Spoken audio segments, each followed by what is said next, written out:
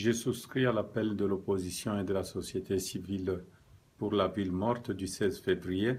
La population doit suivre cet appel car c'est une action pacifique importante qui doit pousser le gouvernement à respecter la Constitution et les délais constitutionnels et à entendre la voix du peuple qui souffre.